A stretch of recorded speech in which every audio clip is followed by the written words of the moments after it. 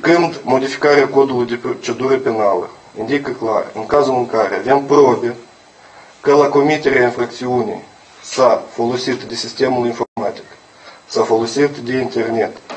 În aceste cazuri, pe lângă percheziția domiciliară, organul de urmărire penală o să trebuiască să argumenteze și să autorizeze la judecătorul de instrucție și percheziția sistemului informatic.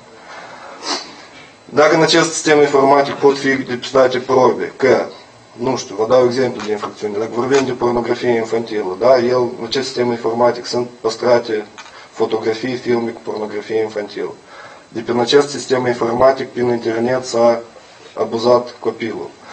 Prin acest sistem informatic s-au sustras date de carduri bancare, s-au sustras date cu caracter personal.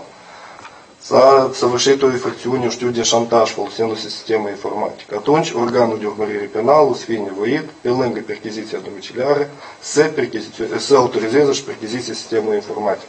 În alte cazuri, decât cele prevăzute concret și procedura care este prevăzută în codul de procedură penală, nimeni nu se poate percheziționa niciun sistem informatic. Eu sper că m-am exprimat destul de clar. Dacă aveți întrebări, vă rog acum, trecem la punctul următor.